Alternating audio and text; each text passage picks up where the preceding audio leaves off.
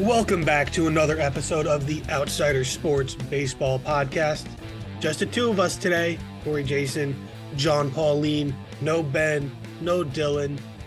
Life gets in the way sometimes, no big deal. So let's get right into it, John.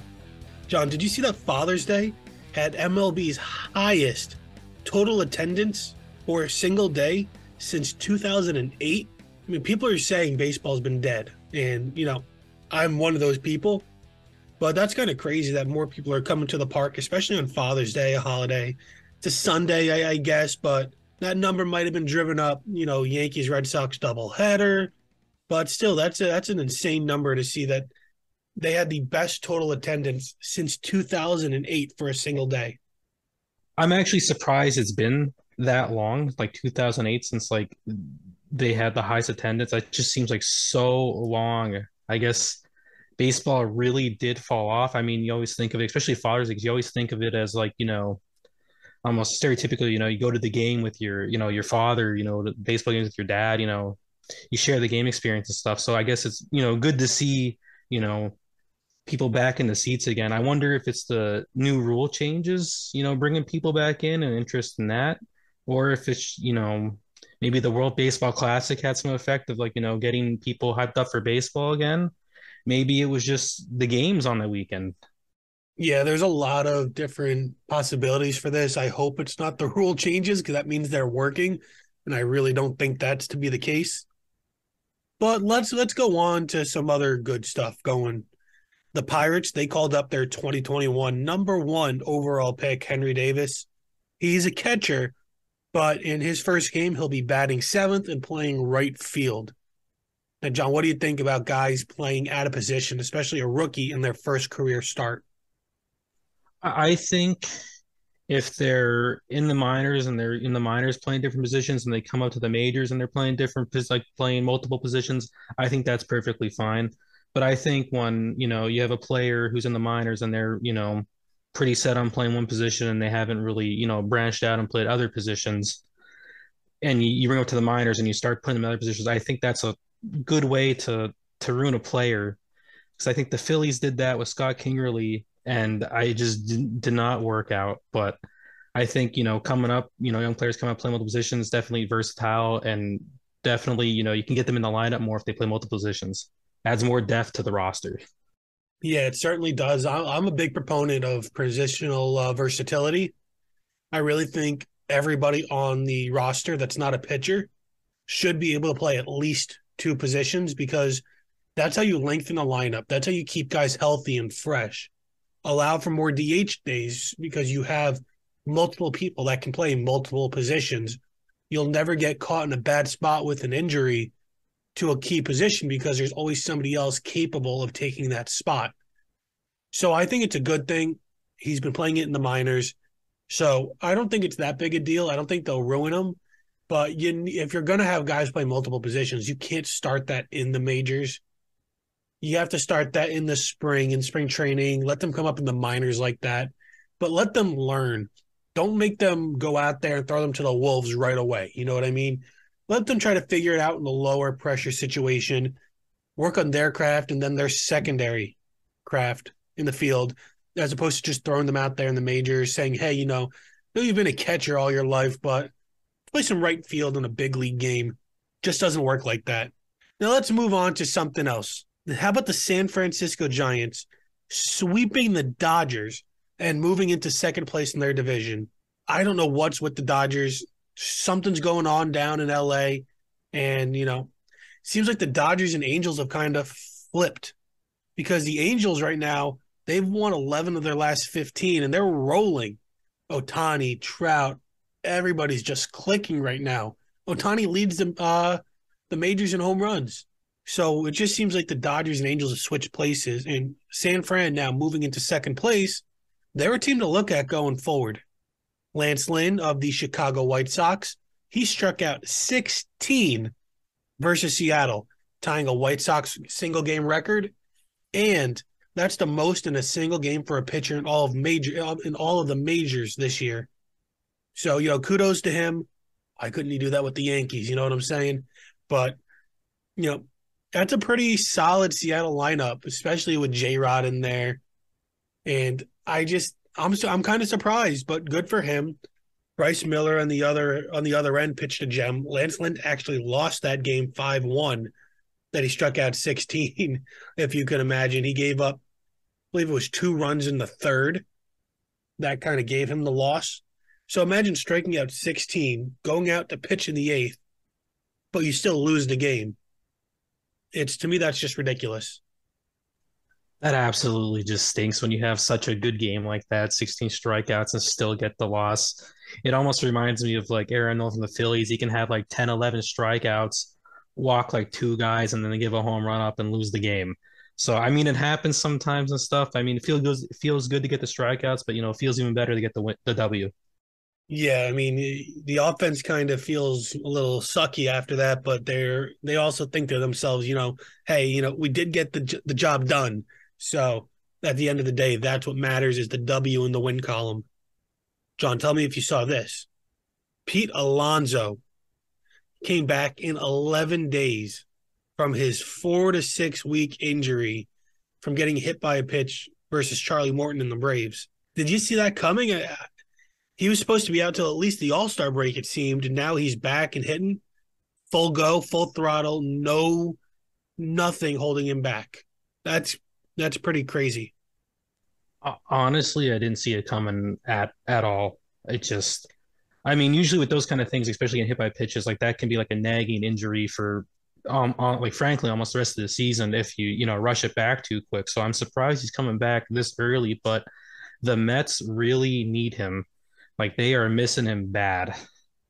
So it's good. So I guess you know Mets fans can be happy that he's coming back. I'm sure Ben's very happy that he's coming back. So you know, hopefully he, you know, hopefully he didn't lose his step while he was hurt. Yeah, hopefully you never want to see somebody go down, and then when they come back, you want to make sure and see them at their peak performance. Especially Alonso, who was leading the league in home runs when he went down. But let's discuss something going down in St. Louis. David Freese, World Series playoff hero for the Cardinals, rejected his spot in the Cardinals Ring of Honor, in the Cardinals Team Hall of Fame. Now, he's famously a boy from St. Louis, grew up a Cardinals fan. So this situation kind of perplexes me. Now, I understand his reasoning behind it. He says he looks around, sees all the names that are already in the hall, in the ring, and then also the ones that aren't in there yet. And he says he just doesn't feel like he belongs but it just seems to me that there's an underlying issue. Maybe there was something going on in his personal life that we don't really know about or know too much about that was preventing him from really wanting to associate with that part. But John, why do you think he would do something like this? I feel like it's kind of like a imposter syndrome thing. You know, he, he sees, you know, he sees all these other people you know, in their hall, you know, teams Hall of Fame and stuff. And it's just like, you know, I just don't think he feels like he belongs there. But the fans certainly do believe he belongs there. And I think he, you know, he belongs there. I mean, you're you're you know, you're a World Series hero, you know. Is he hit the what he hit he hit won the game with a walk off home run in the bottom of the eleventh? Cardinal, you know, and the Cardinals won game seven. Like, you know, that's I mean, that's that's a Hall of Fame worthy thing, I think, for teams. I mean, what more can you do to to prove that you deserve to be there? But I just I just think, you know, he looks at everyone else who's in there and I just don't think he feels like, you know, he should be in their company. Again, I get his thinking, I get his reasoning, but you're a playoff hero for your childhood team, winning a World Series in 2013. You don't have to have the regular season stats and accolades to deserve a spot what you did in those few games in October, you deserve to take your place in the lore of the Cardinals franchise, one of the most storied franchises in all of Major League Baseball. You can't really be upset with him, but you could scratch your head at the thought. And maybe down the line, he will take his rightful place because I'm sure that's not something they'll rescind if in 10, 15, 20 years he decides, you know, I'd like to actually get in there I'm sure they'll let him without any vote because he did get voted in. So maybe he just feels like he's not far enough removed from the game. Also, he did retire in 2019. Last stint was with the Dodgers, and he didn't play all that well. Maybe he just needs more time between the game He just needs more time away. So I really think that's uh that's what's the uh, issue. He just needs time. Now I got a proposal for you, John. A trade proposal. I'm going to give you five trades. Not going to give you the full terms of the deal, just player A going to team A. And tell me what you think. Let's start it off. The Chicago White Sox for the trade deadline should trade Tim Anderson to the Dodgers. How do you feel about that? Honestly, I mean, White Sox aren't playing too great this year, and I feel like you know that would help the Dodgers out quite a bit.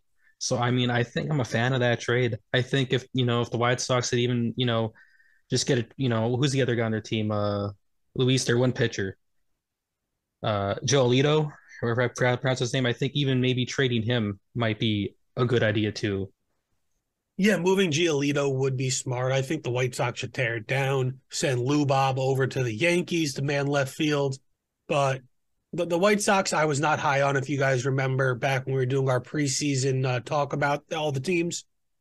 I didn't think the White Sox were going to be really any type of good, and that's shown to be true. The next one is that the Reds trade Alexis Diaz to the Tampa Bay Rays. I'm interested to see what you think about a relief pitcher in a trade. Mm, I don't know about that one since, you know, Reds had Elly De La Cruz coming up. You know, they're starting to do good right now. I mean, it, I guess it would really depend on that trade for me is just what what the Reds can get in return from the Rays, honestly. See, I don't think they should make this trade because I think the Reds might end up winning that division. It's a sorry, sorry division. The Pirates, for all the good they've done, they're still not a great team. The Brewers have been a shell of what they've been the last couple years. The Reds are on and up and up with Elly De La Cruz. The Cardinals, they're disappointing to say the least, even though they did take two out of three from the Mets. And the Cubs are just bad. So I think the the Reds should maybe even look to be buyers at the deadline to see if they can sneak in and win this division. I know they're a little they're an extended uh, amount of games out of you know first place, but you know a good second half they can overcome a pretty sizable gap, and quite frankly, the gap that they're in now isn't something we haven't seen before. The Reds are only a half game back, as I say this, and I know I brought this up last week, and they were like six games out. It seemed so a half game back of first place it's not insurmountable. And I get even if the Pirates or the Brewers play pretty well, the Brewers obviously leading that division with the Pirates in third. All three teams are two and a half game difference. I just think that I just think that the Reds might actually have lightning in a bottle right here and be able to win. You have the Cubs four games out, and even the Cardinals in last place, eight out. I don't see those last two teams really making a push. But the Reds are a very real chance to win that division. And then speaking of that division, the Cubs, who I do think should trade, should trade Cody Bellinger to the Rangers and reunite him with his friend and former teammate Corey Seager. How you feeling about that one? I honestly, I would love that. I think that's, I think that would be great. I mean, Cubs aren't doing too good. I mean, if they can trade him to the Rangers, you know, get some prospects or something for him and, you know, start building their team up again, I mean, just do it. I mean, definitely the Rangers should be looking to get, you know, someone there to keep it going. Cause I mean, like the way the Rangers are playing now, they have a good shot to, to win that whole division there and, you know, go deep in the playoffs from what it's looking now. So I think if, you know, that would be a fantastic trade, I think, for both sides. I agree. I think that's a move that'd be really smart and prudent and I can see a couple other teams looking for the services of Bellinger. Next, the next one is probably the biggest or section, the second biggest name on this list will be the Milwaukee Brewers trading Corbin Burnes to the Arizona Diamondbacks in a massive blockbuster that we all know the D backs can afford to make. Honestly, I think I, I feel like that probably would get done. I mean, the way things are going, I mean, Brewers just don't seem to have it this year. They're not doing good. I mean, you know, they unloaded Josh Hader last year, you know, and I, would say get it done. I would say if you're the Diamondbacks, I would say do everything you can to get that done. Because like right now, Diamondbacks, they're looking really good this year. They have a good chance of winning that division too. and maybe make it in the playoffs. So I mean, if they can get it done, and they sort certainly can't afford to get it done, like you said, I mean, you try to get him because that would definitely help them out. Because I think that's what they're kind of lacking right now. Diamondbacks is some pitching depth in their starting rotation. I think they get him. I think they might be set to just stay ahead the whole year and make it to the playoffs.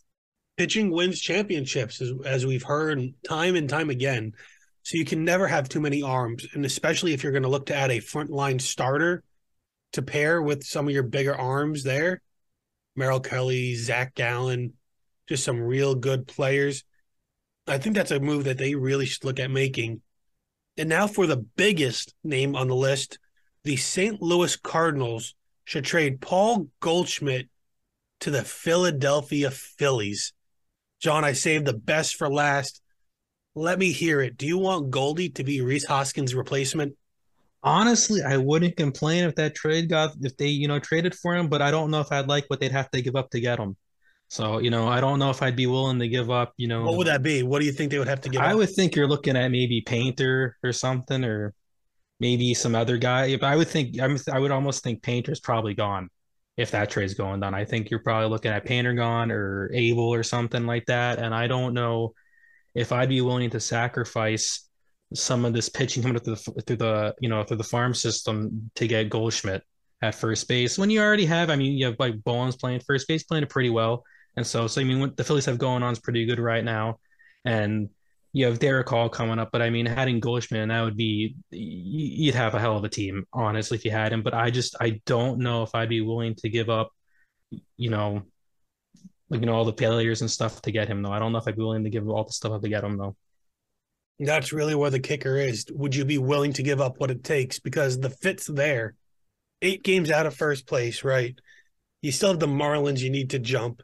And then even in the wild card, you're a game back, but you have Cincinnati, San Diego, and the Pirates all, you know, kind of right there. Cincinnati, San Diego also surging. And those are teams that you really got to compete with down the long haul.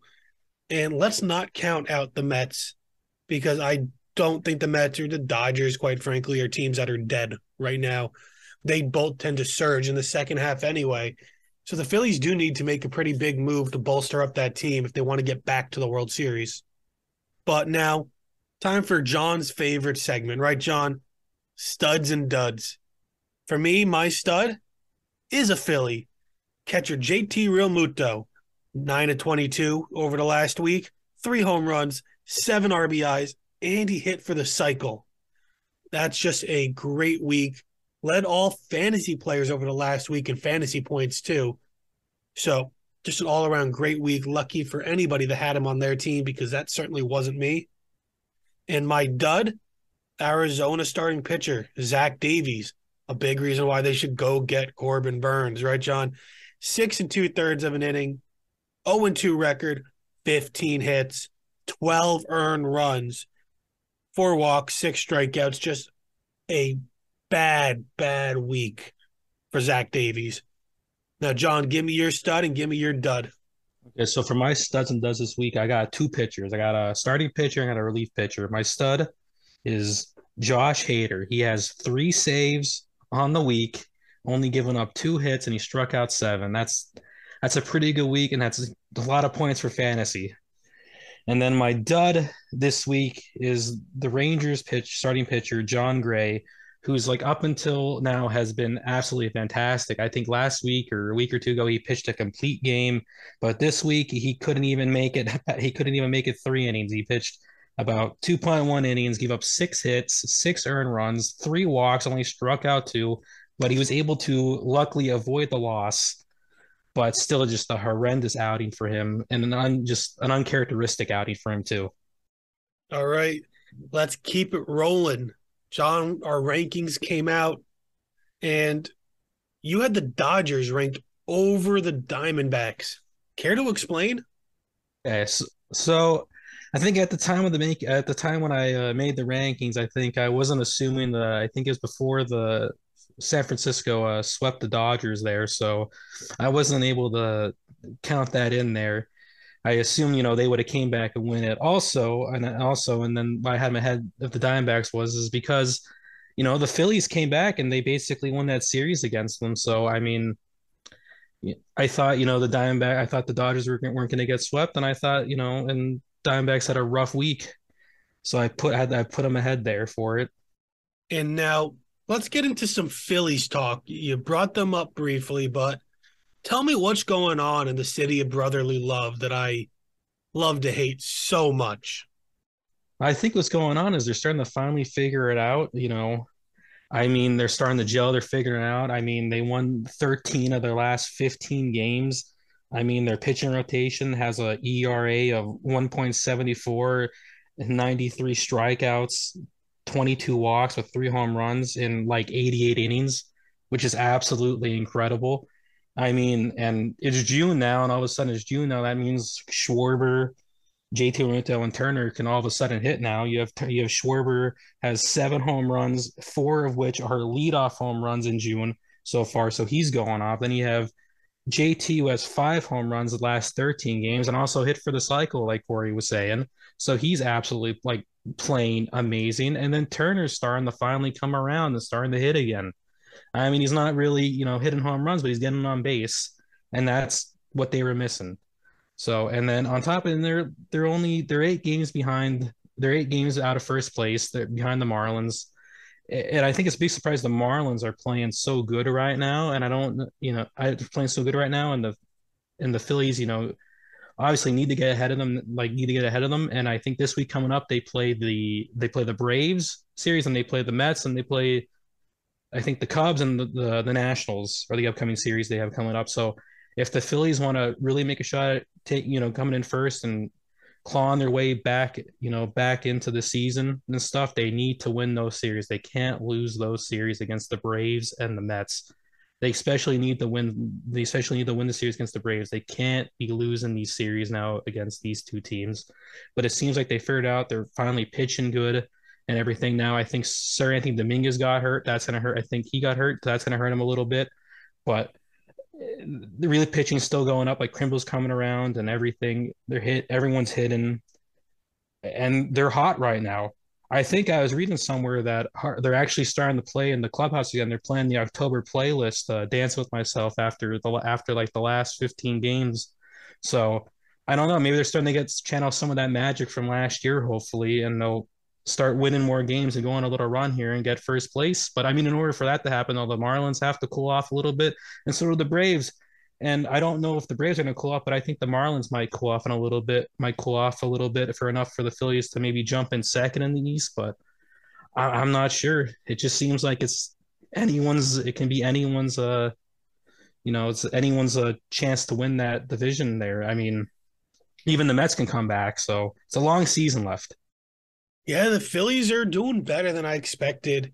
And again, still the first half of the season, still before the All Star break, but it's kind of fun if you're a Phillies fan to see how it's going. You, you, the the moves are live, the clubhouse is vibrant, things are going, and you know, doesn't hurt that you don't really look at the Marlins as a viable, you know, enemy.